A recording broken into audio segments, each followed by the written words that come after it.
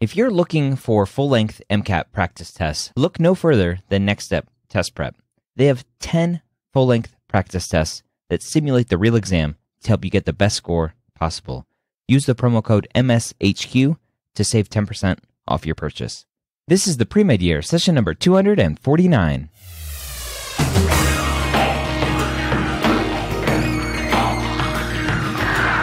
Hello and welcome to the three time Academy Award nominated podcast, The Pre Med Years, where we believe that collaboration, not competition, is key to your success. I'm your host, Dr. Ryan Gray, and in this podcast, we share with you stories, encouragement, and information that you need to know to help guide you on your path to becoming a physician. Well, last week, I was at Podcast Movement where I was up for another Academy of Podcasters Award for Best Science and Medicine podcast. And for the third year in a row, I came up short. But that is okay. I had a blast, and I forget who won, but I'm sure they deserved it.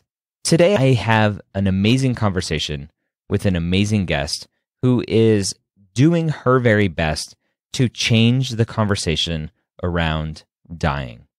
She funded Extremis, a short documentary about end of life decisions being made in an intensive care unit, which was nominated for an Academy Award and others.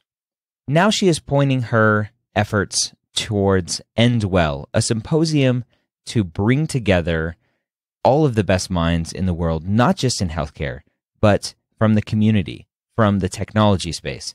Anybody that wants to help change the end of life decisions and care that are going on in this world. That symposium is taking place December 7th, 2017 in San Francisco. The first one. There will be more, hopefully. Let's go ahead and jump in and have a discussion with Dr. Shoshana Ungerleider about her career and how it's taken a path to her dedication to palliative care and how you as a pre-med or a medical student can start to learn from what she is doing and from what others are doing and help you no matter what field of medicine you are going into help patients make their experiences being critically ill much much better. Shoshana welcome to the pre-med years. Thanks for joining me. Thank you so much for having me. When did you realize that your life was going to be filled with treating patients and being a physician gosh, when did I realize that? I probably, well, for me, it was way after college. So I took somewhat of a, a non traditional route in that uh, my undergraduate studies ran the gamut from fine arts. I was a weaver for a while, a major in that. And then I loved women's studies.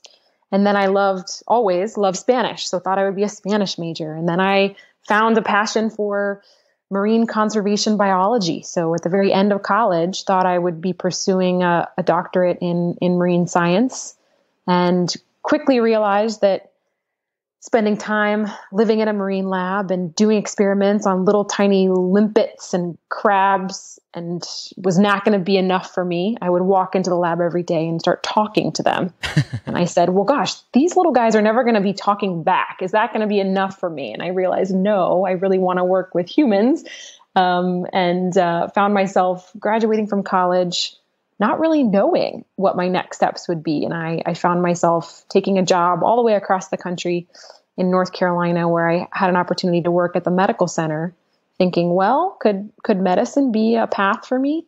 I've done some science in college, not all of the prereqs, but um, about three months into that process of being a bit of a, an intern at Duke Medical Center, realized that I wanted to go to medical school. And so I, at 23, found myself back in college doing undergrad courses at UNC Chapel Hill. And then the following year, completed the, the coursework and then took the MCAT. So it really wasn't until 25, age 25, that I thought, well, I've, I've done all the work. I've taken these exams. I've applied and somebody wants me. So there, there I was. At any point along that journey, did you question whether your age was going to be a factor and and how long the medical school process is and residency and everything else that maybe you should just do something else because it was too late At times I did. You know, at, at 23, I still, you know, I, I felt like I had many, many years to, to continue to think about the right professional course for me. I had, I was lucky to have some fantastic mentors that had come before me who had also taken time off uh, after college, before medical school. And for sure that, you know, that's changing now such that I think most people take, take some time off or take somewhat of a non-traditional route before uh, starting medical education.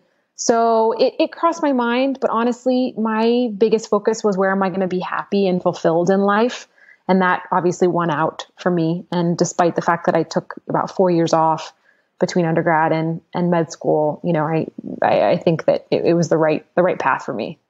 I love that there's always that saying of, of when there's a concern about age, it's like, well, you're going to be 30 anyway. You might as well be 30 and a physician and 30 and not a physician if that's what you want to want to do with your life. Yeah, absolutely. And you know, I think that the that the best advice that I got at at 23 24 thinking about gosh am i going to really embark on this crazy long journey uh, um, that's going to be expensive both you know financially emotionally um, and you know someone said to me uh, which i totally still rings true for me and that is if there's anything else that you could see yourself really being happy and again fulfilled in doing do that right don't if you think that there you know you have a million interests and and that medicine is just one of the many and it's um and it's not the end all be all for you like don't go into medicine because right mm-hmm. because that because that time commitment um that of course the financial um, component that's huge. So and, and i and i would never want to underplay that. I think that that is a, a especially for women right? Um spending time you know potentially at a minimum seven years if you complete residency um, uh, in in training. That's a lot of time uh, of of your life to give up. Um, not it's absolutely it's worth it, but um, I think that people need to be as certain as possible that that's the the right uh, path for them before um, jumping all in. Now, when you you added that kind of caveat that that as a woman part, are you talking just from from a childbearing age and, and starting a family, having a family. Is that what you're talking about? That is what I'm talking about. I think for for many people that is something that, that they see as a part of their future lives, if it isn't already. And um, and for women especially, you know, the age, you know, 22 to maybe 32 um, for for many people is kind of prime time to be thinking about um, about children and um, family although you know that's not for everybody and we there are many many many ways to um, to have families in this world and and think about what's you know the, the right thing for you. So I, I just wanted to point that out for the people that that are interested in um, in in that part of life. You mentioned that you had some mentors along the way to help and everybody i think who's successful in life and even those who aren't successful will talk about mentors and helping guide you along the way. And a lot of students, I see the questions all the time is how do I go about finding a mentor?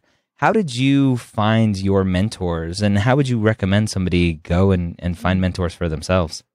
That's a great question and so, so important. Um, there are so many points in my life where mentors played such a big role. I think that, you know, for me, uh, it happened to be that I had family friends that, that happened to be in my life um, through other sort of random connections that that that turned out to be wonderful mentors for me as I was looking at uh, whether medical school was the right path, uh, applying, thinking about where to go, and then and then the next step being, you know, what do I do for residency? It just so happened that I sort of had people already built into my life that were there. I think um, now I can imagine that with sort of the the widespread use of social media and the acceptance of connecting with individuals via Twitter, via LinkedIn, you know, on the professional side, to me it seems like it, it, the it's it's wide open. I mean, there are so many people that you can connect with that you wouldn't otherwise have had access to just by you know sending them a thoughtful note on LinkedIn saying, "Hey, I'm a I'm a pre med or I'm I'm interested in medicine. I, I'd love to get your thoughts about you know X Y Z. Um, or just asking them a specific question and with the hopes that they'll they'll see the message and write you back. I, I can't even tell you how many times, even now as a practicing physician, I've been able to connect with folks who I saw as you know complete role models or or you know the the, the people who I never thought I could um, reach out to. Um, just just kind of um, putting myself out there uh, via via a Twitter message or via LinkedIn. So um, I think if there are specific people that that folks want to connect with, if there's somebody who you think could be helpful, um, reach out to them.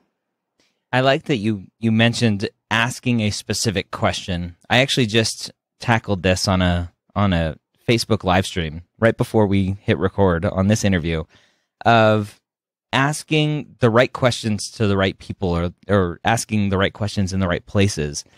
A lot of students are going through this process and they just ask very general questions. And so I picture a student reaching out to a physician saying, "Hey, I'm pre-med, can you help me?"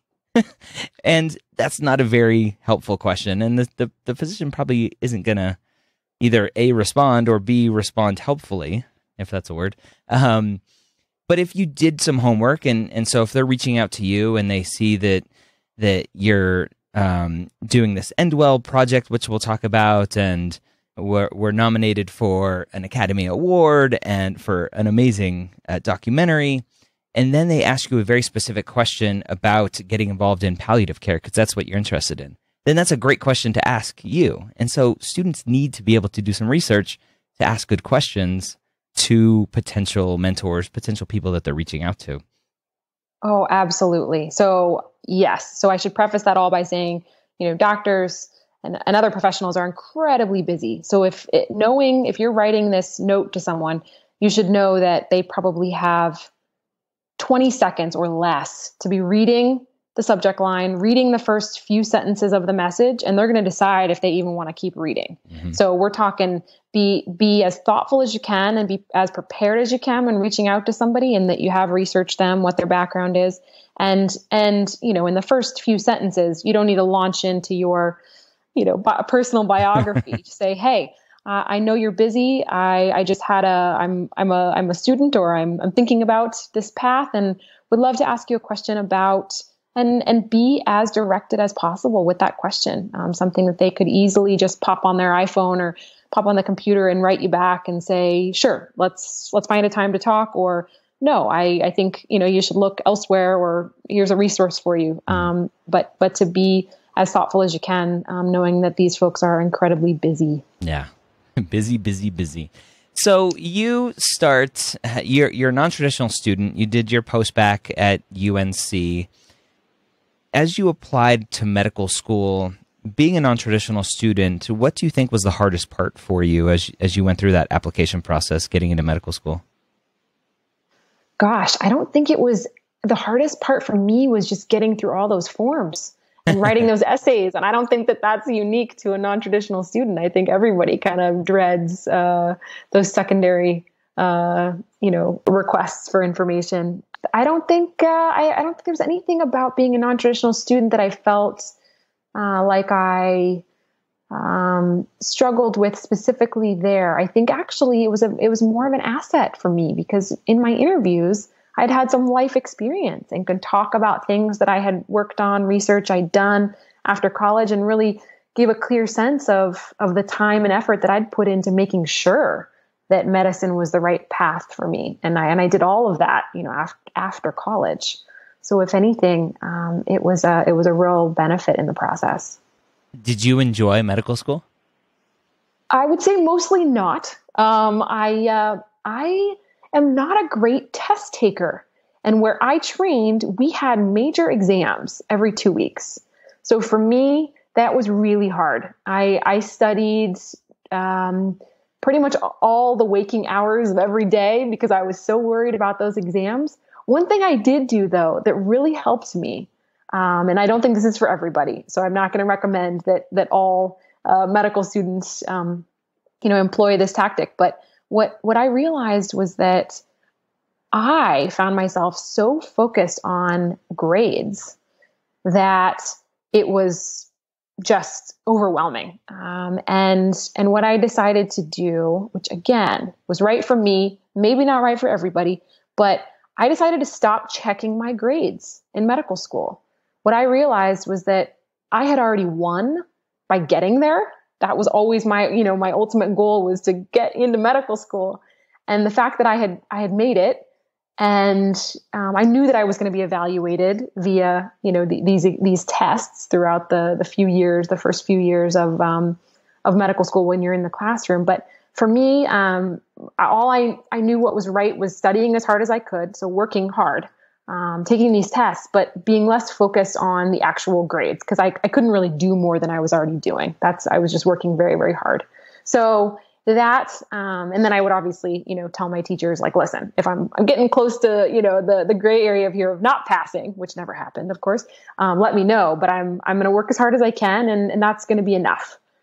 Um, so that was one one tactic that uh, that helped me. And then in the clinical years in the third and fourth year for me i loved getting to take care of patients. I think that the, the second two years of of training uh, were were much much better for me. I was more uh, well suited just just being in the hospital and not so focused on the classroom. Um, so yeah, medical school is hard. Um, anyone who tells you otherwise is either a complete genius or, or lying to you, right? yeah, yeah. I, I had the same exact experience. Those last two years were so much better because there was more context around what you were trying to learn and everything else. So I think as you knowing that you were a bad test taker, knowing that medical school wasn't fun for you, looking back at the the way that you evaluated medical schools and how you chose what schools to apply to and ultimately where you went to where you went to school, how would you go about doing that differently? Because a lot of students are bad test takers. Yeah. Well, I, you know, I think it's interesting now. It seems to me that over the last maybe just handful of years, a lot of medical schools are radically changing their curricula or the way that at least that um, information is taught to either fewer years in the class or fewer months in the classroom, building in a research year potentially, um, making uh, the classroom material more case based so it's actually, you know, built, co- the context is built into what you're learning.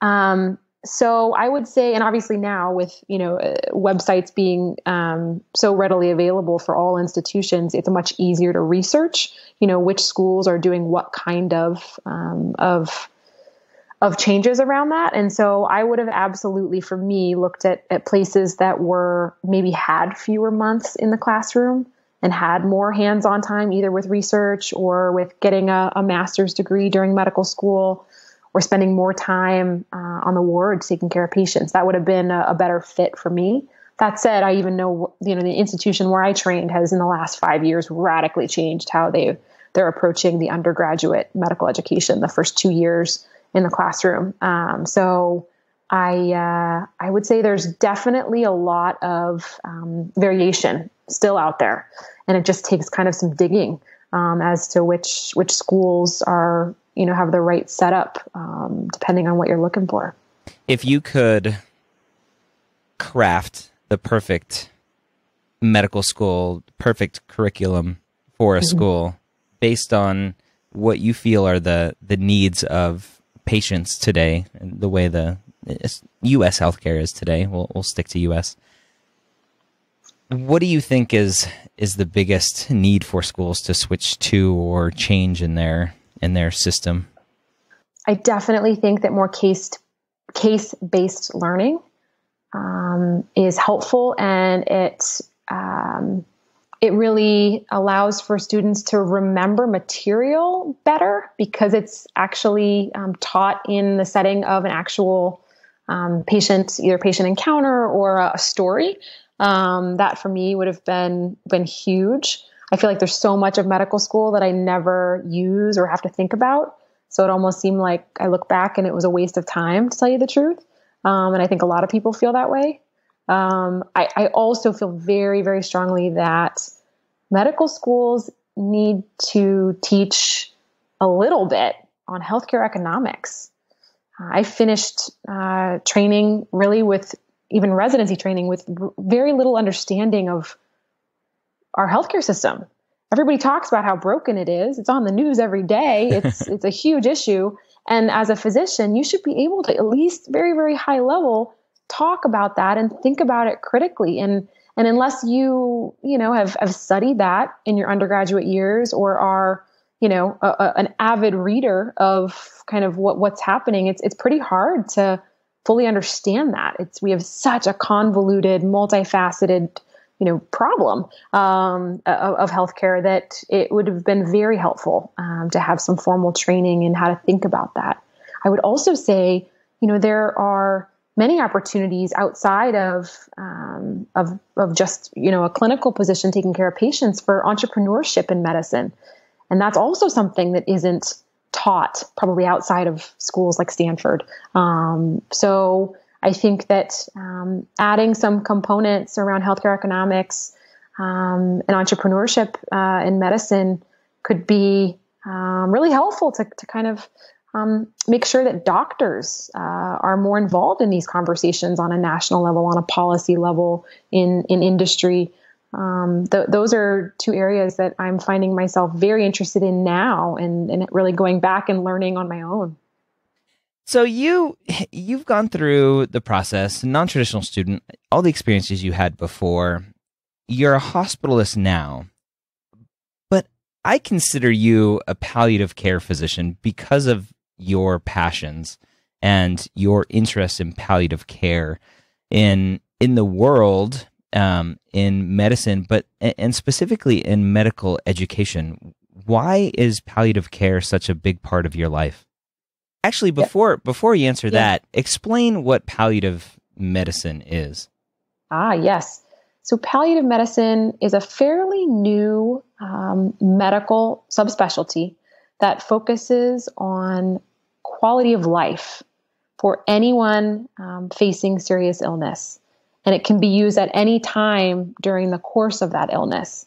So palliative care is fantastic in that it employs a a team based approach to caring for people. So typical palliative care teams have a, a nurse, a social worker, maybe a chaplain, uh, a physician as well, and then sometimes some other um, folks on the team who who all work together in a, in a much more interdisciplinary fashion than you might typically find um, in a in a healthcare setting to talk about um, what matters most to patients who are facing life limiting illness, and again to to make sure that that they're focused on on quality of life for as long as they have left. Um, so it's it's a field that, uh, as I said, is is fairly new and uh, was born out of a need to kind of bring the humanity back to medicine because there actually is a place for us in medicine to to care for people when cure isn't always an option.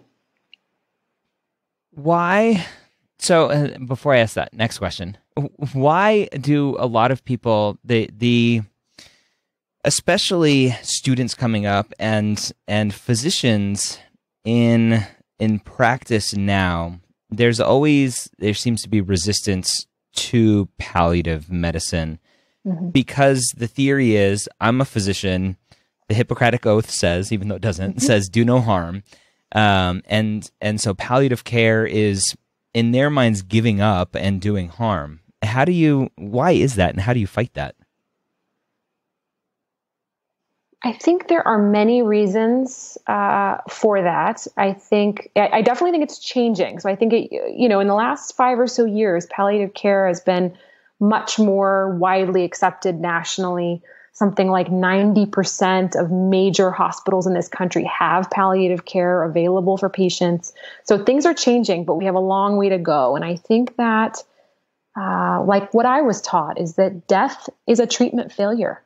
Mm-hmm. And nobody wants to talk about failure, right? No, nobody wants to think about that. Our job as physicians, at least as, as I was taught, is to is to cure people of their disease, and then great, you've you've uh, you've made it. Um, I, as I said, you know there are times when cure isn't an option. As much as we would love to see everybody um, well and back to their you know uh, baseline level of, of of health, it's not always possible. And so there are times when we need to um, transition our focus on to maybe a comfort based approach if people are having trouble with with pain or other symptoms or it's really um, shifting our focus to quality of life as i said. So for some people um, if we know that um, treatment is no longer working um, that there are um, other ways to support patients and families um, through serious illness um, and that can be many things. Sometimes it's spiritual care, sometimes it's um, treatment for dep- depression related to their illness, and sometimes it's pain control or other symptom management. Um, that's not to say that palliative care is only for people who uh, for whom cure isn't an option. It's really, really for anybody um, who's been diagnosed with a serious illness. But we tend to focus a lot on folks who have a who have a terminal um, diagnosis. So um, I think that um, in this country, you know, we are so technologically advanced, and our ICUs save lives every single day, and we have this amazing miracle of, of modern technology. Um, and we think, I, I, think, I think that we uh, approach um, every patient thinking that we should do everything for everyone, um, and that's not always the case. Um, I, I, can't even tell you uh, how many, you know, often frail elderly patients who have, you know, 10 chronic medical problems on top of end stage liver disease or heart disease or maybe um, advanced cancer, um, for whom ICU and aggressive care is not going to help them. Mm. It's going to prolong their suffering. And and that's how I sort of got found myself interested in palliative care because I was taking care of so many of those patients that I was distressed by it.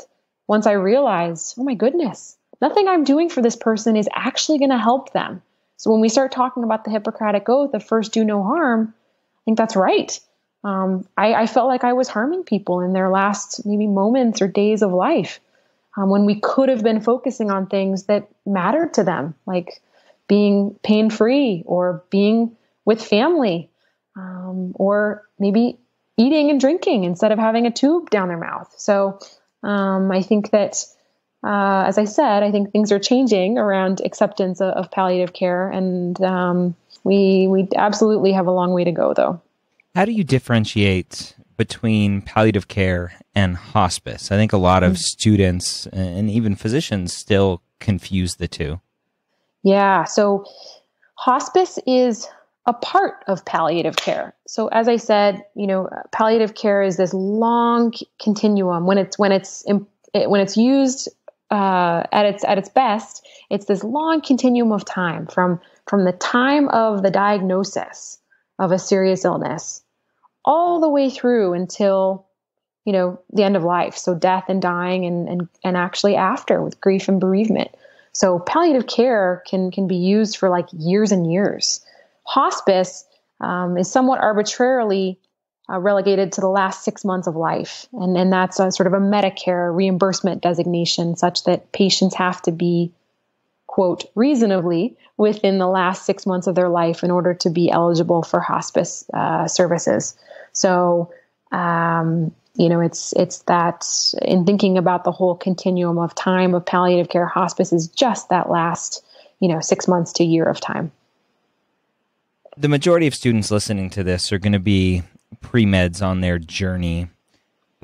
What can students be doing now to a learn about palliative medicine, palliative care outside of this podcast, and b what can they start doing to to start making an impact not only now but in the future as they're going through medical school and advocating for more education of palliative care in medical school?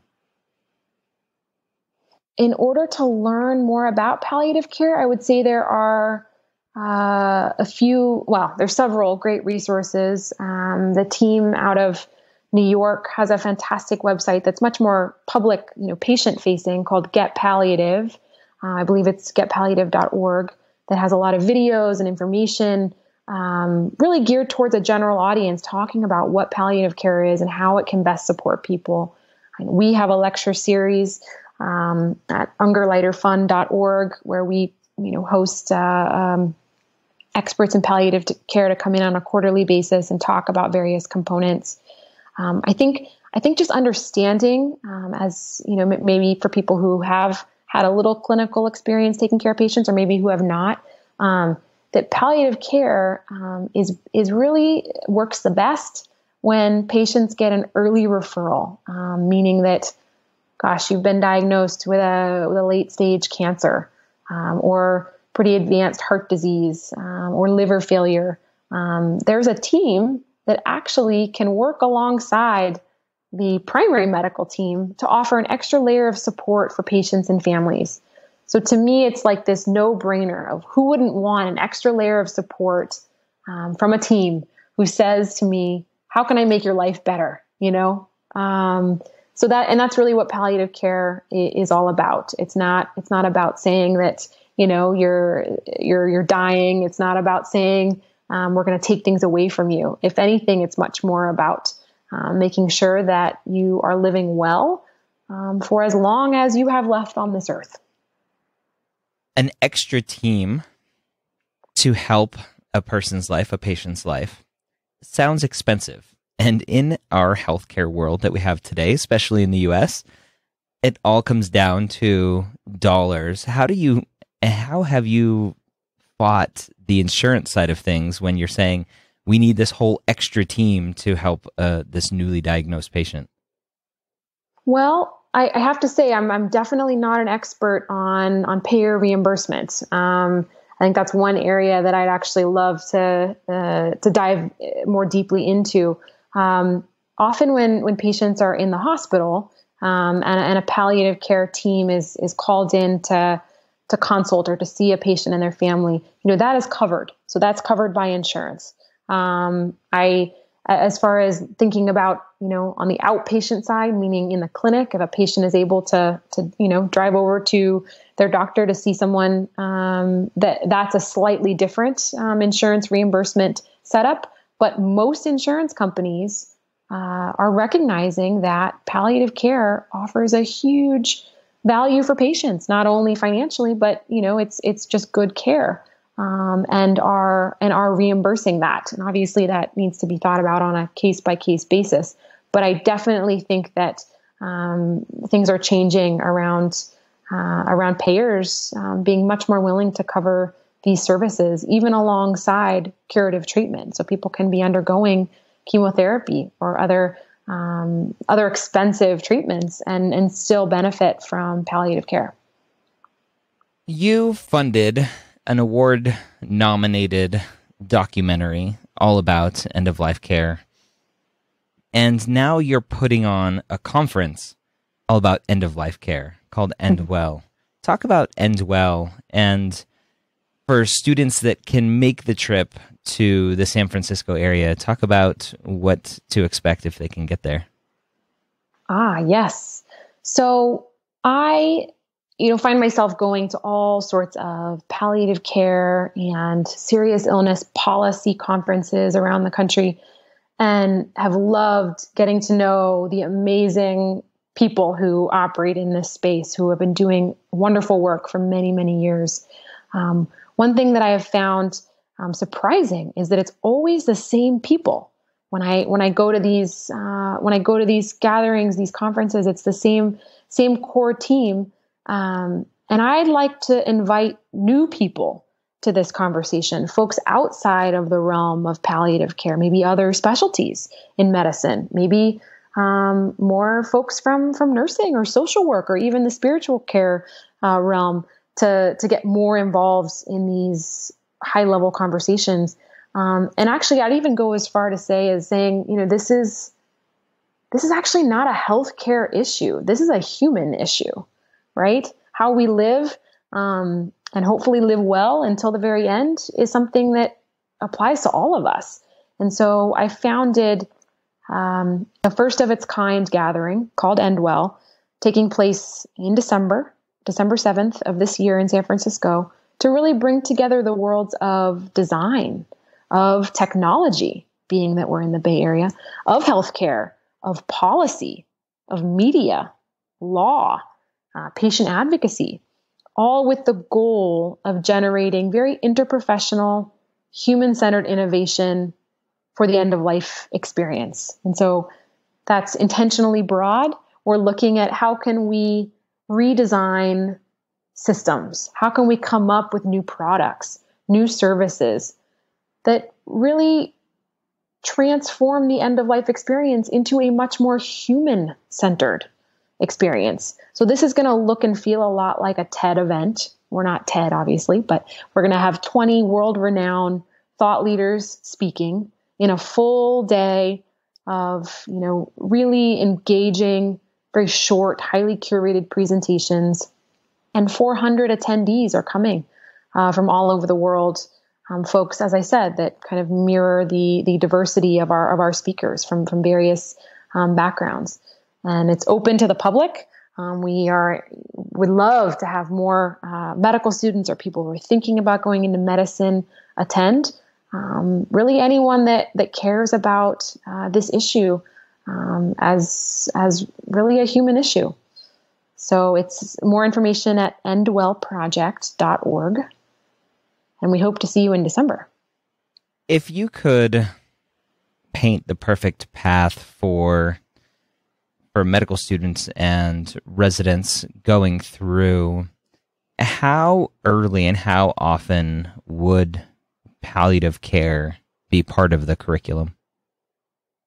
I would, thinking back to my first few years in the classroom of medical school, I think that even there, there would have been a place for more um, pharmacology, uh, better understanding of some of the medications that we use around um, palliative care, which are often um, uh, opiate pain medications, other medications that focus on symptom relief from shortness of breath, um, and other things that are affecting folks who have, you know, um, very uh, severe illness.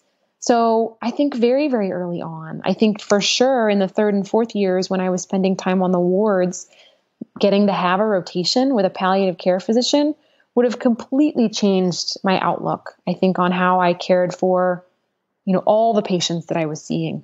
Um, it really just would have given me uh, a much a much better foundation um, to think about, you know, how can I best take care of patients? Um, and then for me, it wasn't until my first year of residency in internal medicine that I had any exposure to palliative care, and that was my, you know, many months in the ICU, as I said, taking care of very, very sick, often very uh, frail and elderly patients who were not benefiting in any way from what we were doing in the ICU, despite the fact that, of course, uh, that's our default. That's the default um, sort of path for patients in this country. If if you're sick and and you need help, no matter how old you are and no matter how sick you are, you'll receive aggressive invasive care, even if it's not going to help you. So there, in my mind, you know, there was that disconnect early on, and I. It wasn't until you know getting back to this mentor thing um, until I had a mentor in palliative care um, as a as a resident that I realized just how amazing it is when you can sit down and have a human to human conversation with patients and families about, well, here's the prognosis right now. Here's what I'm concerned about for the future for you. Tell me about, you know, asking the patient, tell me about what matters most to you in your life um, and how we can um, and best help you spend the time that you have left, um, you know, full of, full of meaning. Um, so when I when I got exposed to that, it just blew my mind. I realized just how much that can help patients, just as much as a heart cath, and just as much as any procedure that we do in medicine can help. A, a conversation um, like that, related to goals and values for patients, can can be life changing. I think students who are interested in emergency medicine should listen to this a couple times. This this whole mm-hmm. interview I, have a very uh, close friend who's an emergency medicine physician, and she wins awards for for helping people die because when people come in to the emergency room, she's very much the one that will say, "Wait a minute, you're you have stage four cancer. You've had it for a, a long time. You are dying. Let's talk about not sending you to the ICU and what else we can do to make your life better. And so she, her hospital has recognized that she helps these patients with their care, with their life through palliative medicine as an ER doc. And I, I think that's a huge point of entry for palliative medicine if we can get the, the emergency medicine docs to start having this conversation.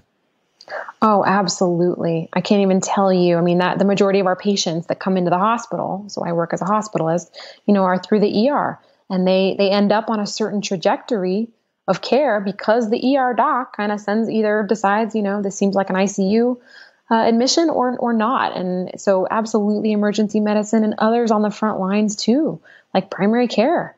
So as as busy and as um, sort of tapped out on time as as the as the primary docs are, it's so hugely helpful um, when they've even just taken a few minutes to sit down with their patients who maybe they've known for years to talk about issues related to maybe even advanced care planning, meaning, you know, um, what are your wishes if you are to become sicker?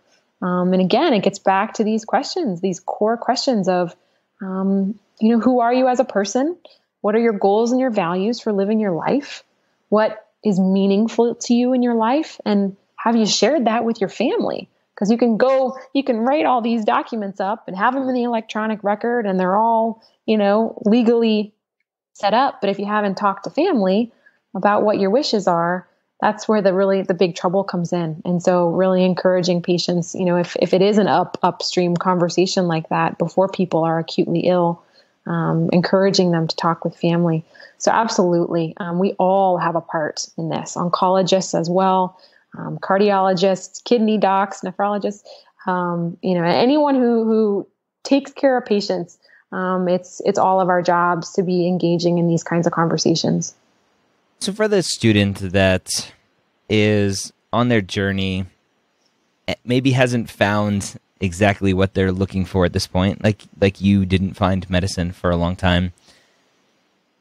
What would you say to to that student who's still early on to let them know that this journey is worth it, even though you didn't enjoy those first couple of years of medical school.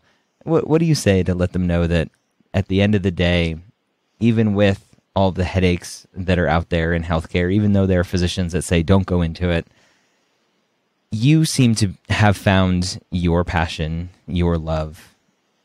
How do you how do you transfer that to those that are following in our footsteps?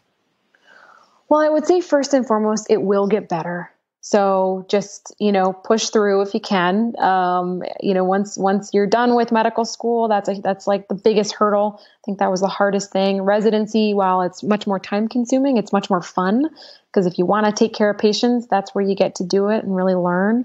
Um, and then after residency, you know, the world is is wide open. There are so many paths, and I think for people who don't yet know whether they're, you know, in medical school now or thinking about going in, they don't know what they want to do, the right path will present itself. I think I was one of those people I wasn't really sure, you know, what I wanted and and when after my, you know, 8 or 10 weeks of internal medicine, my third year, that I was sold. That was for me and I never thought that would have been my path. And so just being open to, you know, those those opportunities and experiences. And then I think and and and that's not to say that clinical medicine is for everybody. I think that if you find yourself not so interested in taking care of patients um, but you're in the middle of medical school there are a million other routes you can go with your medical degree. So there are, are industries that are all over the place looking for physicians to to consult.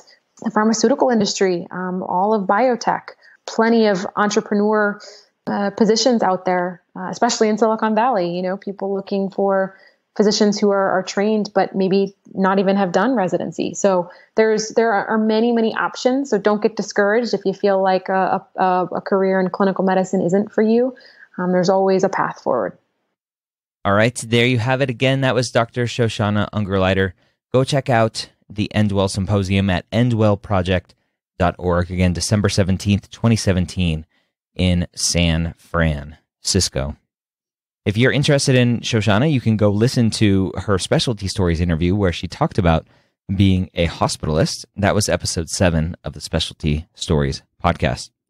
As I mentioned at the very beginning, go check out Next Step Test Prep. Use the promo code MSHQ on any of their products and services, but they are specifically one of the best places to get MCAT full length practice exams. So if that's something that you're getting ready for, you can buy different size packages all the way up to 10 full length exams. Go check them out, nextsteptestprep.com. I hope this was useful for you and you got something out of it. No matter what field of medicine you are interested in going to, palliative care, palliative medicine can be a big part of that, helping patients with their end of life decisions and care to make the best of their life, whatever they decide that means. I hope you have a great week. We'll see you next time here at the Pre Med Years.